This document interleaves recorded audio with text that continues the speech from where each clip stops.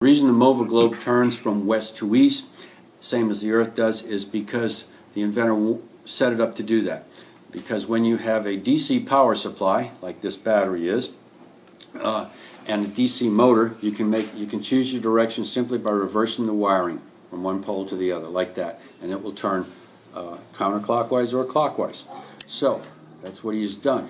So here we have the DC motor, and we're going to touch it to the negative of the battery, and then we will connect the other terminal here to. Use your finger there to put that on the positive. Uh, there you go. turn clockwise. Okay. Now let's reverse it.